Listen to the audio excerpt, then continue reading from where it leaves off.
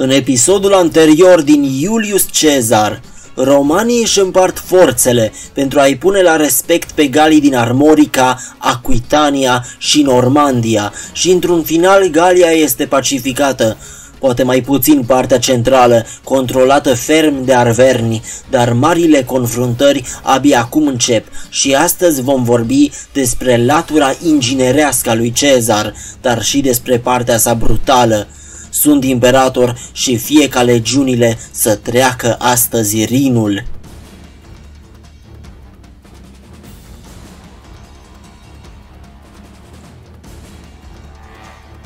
Poate vă întrebați, de unde scot eu informațiile pentru această parte din sezon? Și acum vă descoper marele secret, care de fapt nu mai e un secret.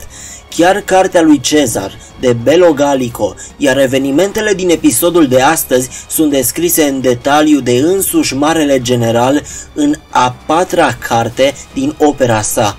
Veni anul 55 înainte de Hristos, pe care Cezar îl numește în carte anul consulatului lui Pompei și Crasus, iar o forță necunoscută inițial trece Rinul pe la gura de vărsare, aceștia erau germanicii din tribul Usipetes. Ei au migrat din cauza suebilor, care erau și cei mai puternici dintre germanici, cu o sută de cantoane în stăpânire. Iar din fiecare canton puteau să adune o mie de război niciodată. Ei umblau și iarna la bustul gol, având o condiție fizică de invidiat. Erau toți înalți, musculoși, iar spiritul războinic era la el acasă în teritoriul lor. Usipetes și Tenhterii erau cei mai tari după suebi, însă suebii i-au gonit pe aceștia din teritoriul lor, declanșând o migrație masivă, iar refugiații s-au trezit în teritoriul locuit de menapii, care aveau așezări pe ambele maluri ale fluviului Rin. Panicați, galii pregătesc o defensivă solidă pe malul de est, iar germanicii atacă, însă asalturile lor erau sortite eșecului, așa că se gândesc la o retragere tactică. Vreme de trei zile au mărșăluit înapoi spre Germania, iar în ziua a treia, cavaleria lor s-a întors din drum și a parcurs aceeași distanță înapoi în mai puțin de o zi. Menapii sunt luați prin surprindere și învinși, iar germanicii întorși le capturează și bărcile, cu ajutorul cărora Usipetes și Tenhterii trec pe celălalt mal al Rinului, cucerind complet teritoriul menapiilor. Cezar a jurat că nu avea să mai lase treburi de defensivă în mâinile galilor și pleacă spre Rin, mobilizând armata puțin mai devreme decât era sezonul de lupte în mod normal și după un marș forțat ajunge la granița cu Usipetes. Trimite imediat soli cu mesajul ca germanicii să părăsească Rinul, iar despăgubirile aveau să fie plătite de gali, iar germanicii au fost amăgiți de acest lucru aparent generos. Usipetes pleacă spre teritoriul treverilor, iar Cezar își adună aliații gali ca să formeze aripi de cavalerie pentru a-i zdrobi pe germanici.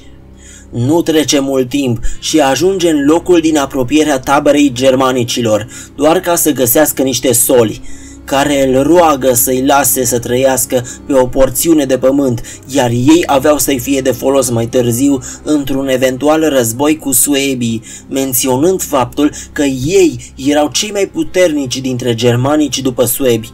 Cezar refuză categoric, spunându-le că dacă erau atât de tari precum se lăudau, nu și-ar fi abandonat teritoriul din Germania. Usipetes îl roagă pe Roman să le dea trei zile pentru un răspuns și să nu avanseze, dar Cezar nu promite nimic, deoarece știa că Usipetes trimiseră cavaleria peste Mez cu pretextul de a aduna provizii, dar Cezar credea că era o cursă. Solii au cerut trei zile de pace, timp în care și-ar fi putut aduna războinicii, iar cavaleria ar fi atacat pe la spate. Romanii avansează la 12 mile de tabăra germanică și vin din nou solii cu rugămintea să le mai dea trei zile. Cezar nici nu vrea să discute și mai avansează în acea zi patru mile pentru a ajunge la un izvor ca să aibă o sursă de apă, dar le ordonă tuturor, inclusiv ofițerilor de avangardă, să nu atace, chiar dacă ar fi fost provocați. Totuși, contrar așteptărilor noastre și conform așteptărilor lui Cezar, germanicii au rupt acel, să zic, pact de non-agresiune. O forță de 800 de călăreți germanici atacă forța de 5000 de cavaleriști auxiliari din avangardă, iar auxiliarii nu au avut nicio șansă și sunt puși pe fugă. Chiar dacă se regrupează pentru un contraatac, Usipetes atacă și mai brutal, iar auxiliarii sunt puși pe fugă până la armata principală. Cezar vede această încălcare crasă a păcii și nu mai stă pe gânduri, atac direct. În acel moment însă, ajunge altă solie la Cezar, dar romanul nici nu mai vrea să vorbească.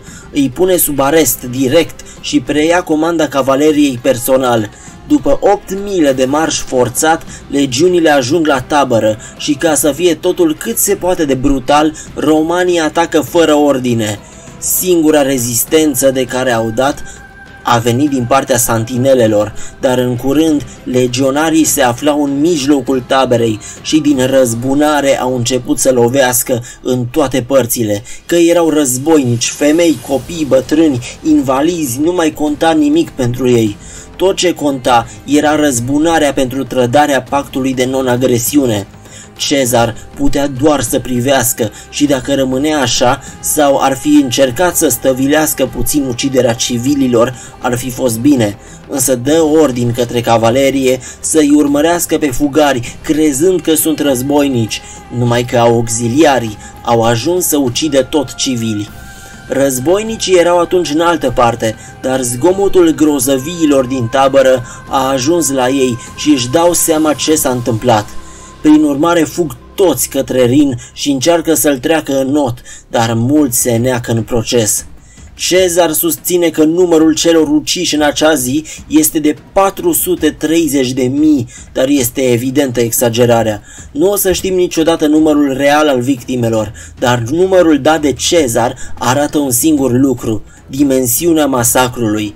Senatul, auzind de asta, dorea chiar să-l judece pe Cezar pentru crime de război, în ciuda implicării sale limitate în furia soldaților, care uitară disciplina, dar nu putea face asta, deoarece generalul încă beneficia de imunitatea sa de guvernator.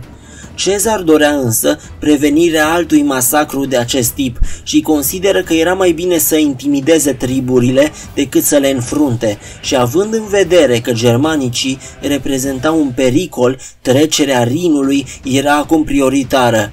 Cavaleria germanică de peste Meuse scapă în teritoriu germanic și începură toți să anunțe războaiele romanilor în toate părțile. Multe triburi germanice s-au oferit să-i treacă pe romani peste Rin, fiindcă se temeau de suebi și sperau ca romanii să-i ajute, mai ales tribul ubiilor, dar romanii aveau să traverseze Rinul în stil și începe construcția acelui miracol al ingineriei romane, care se numește podul de lemn al lui Cezar de peste Rin, construit în numai 10 zile. Totul a început cu unirea a două pile de lemn care au fost băgate în râu, dar nu perpendicular, ci inclinate împotriva curentului și a continuat tot așa pe toată lungimea râului, unind apoi pilele paralele cu grinzi de lemn, iar peste acestea a construit platforma. Ca să fie asigurată și protecția, în jurul pilelor erau fixați săruși pentru a limita eventualele distrugeri iar după ce lasă o mică forță de apărare la pod, Cezar trece râul și multe triburi vin la el cu dorința de alianță, iar romanul acceptă la schimb cu niște ostatici. Totuși, triburile pentru care a venit special nu se mai găseau nicăieri, fiindcă au fost anunțate de Usipetes și evident că au fugit pe unde apucau. După ce romanii devastează zona, fără să găsească un singur germanic, ajung în teritoriul ubiilor, iar suebii, aflând de asta, se strâng în centrul cantoanelor pentru a se pregăti de invazie. Cezar, aflând de aceste manevre, consideră că și-a atins scopul, adică intimidarea triburilor germanice și dă ordinul de întoarcere în Galia, distrugând și podul de peste Rin în proces. Următoarea campanie planificată era expediția în Britania, trecând canalul Mânecii, fiindcă britonii i-au mai ajutat pe gali, mai ales pe belgi, în războaiele antiromane dar Cezar nu știa nimic despre Britania, deoarece singurele surse de informație erau negustorii, dar și ei abia dacă se aventurau mai departe de Tamisa. Cei mai mulți rămâneau în zona falezelor albe de la Doverul de astăzi, așa că Iulius Cezar considera această expediție o provocare, dar despre Cezar în Britania vom vorbi data viitoare. Înainte să încheiem episodul, vă pun o întrebare, deoarece pe acest canal în primul rând cultivăm virtuți după modelul eroilor omenirii. Cezar și-a iertat mai târziu adversarii politici și a dat legi drepte pentru toți, dar atunci când cei din tribul Sipetes erau masacrați, putea să privească doar. Dacă legionarii săi ieșiseră din control, are o scuză, dar dacă legionarii săi mai puteau fi stăpâniți de ordinul generalului lor, atunci indiferența lui Cezar de a opri masacrul este o crimă în sine. Acum vine întrebarea și lăsați răspunsurile în comentarii. Poate o faptă bună să anuleze o faptă rea? Răspunsul meu va veni în episodul de săptămâna viitoare și voi vă lăsați răspunsurile în comentarii. Dacă v-a plăcut acest documentar, nu ezitați să apăsați butonul de like, să lăsați un comentariu, să distribuiți acest videoclip, să vă abonați la canal, dar nu uitați, distribuirea este cea mai importantă, astfel încât legiunile Imperatorului să devină din ce în ce mai numeroase și cât mai multă lume să afle de acest documentar. Vă mulțumesc!